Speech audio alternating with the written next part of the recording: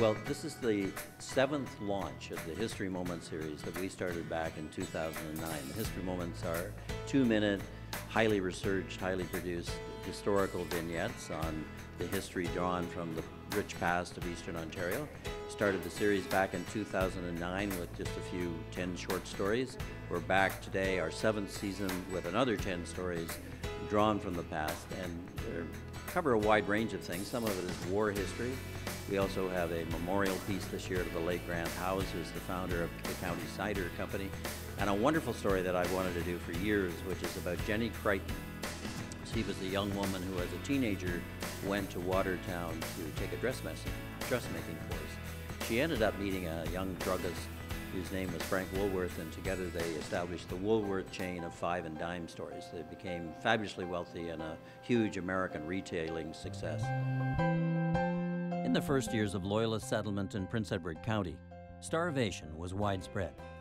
The months of 1787 1788 are still remembered as the Hungry Year.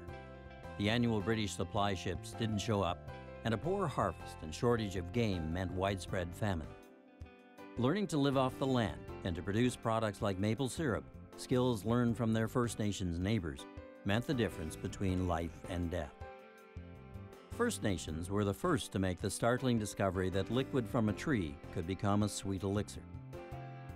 Hot rocks dropped into the sap formed steam and heated the liquid until it became a sweet-tasting amber syrup boiled into maple sugar granule. Maple sugar soon became a mainstay of pioneer life. It was not only a critical foodstuff harvested in late winter, it was also a sweet that replaced sugar, a product hard to come by in the wilds of British North America. Sugar was also associated with the cane sugar industry, an industry built upon the slave trade which many loyalists abhorred. Harvesting maple syrup was intense and required the whole family to participate. It takes 40 gallons of sap to produce just one gallon of maple syrup, Records show that Prince Edward County crops in 1852 included over 120,000 pounds of the product. Today, there are over 2,700 maple syrup producers in Ontario, producing close to 4 million litres of syrup annually, a crop that was worth $32.5 million in 2011. Many families in Prince Edward and Hastings counties continue the tradition of sugaring off and welcome visitors to sample this sweet crop during festivals celebrating the arrival of spring.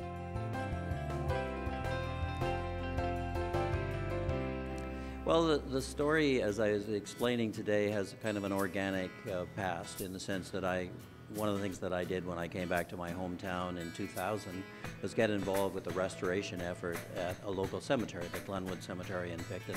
Wonderful, spectacular Victorian cemetery that opened up in the 1880s.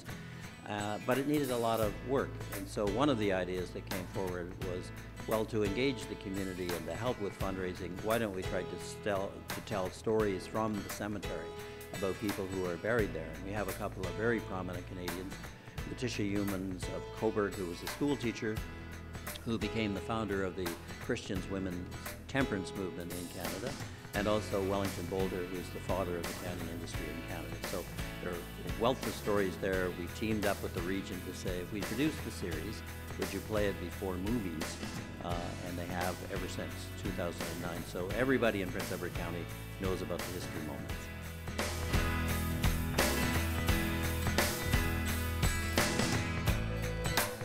Well, one of the stories that we did was the story of Molly Brant, who was a Mohawk Indian leader. She lived during the time of the American Revolution.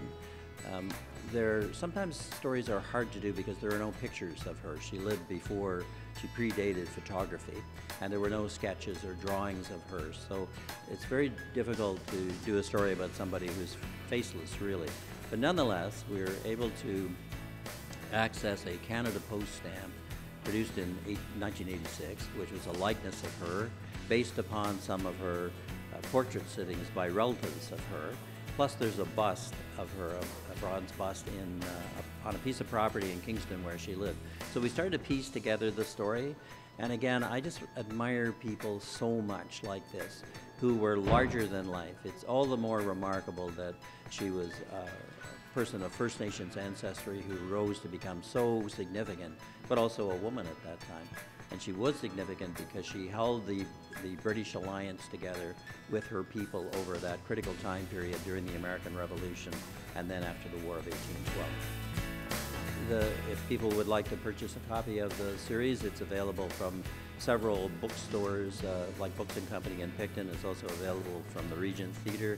In Belleville, you can get it through the Quinte Arts Council on uh, Bridge Street, I think it is, in downtown Belleville.